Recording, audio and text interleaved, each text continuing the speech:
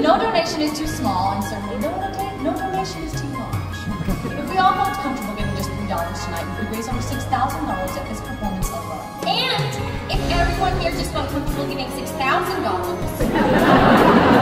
Last but certainly not least, because no fundraiser is complete without a little incentive.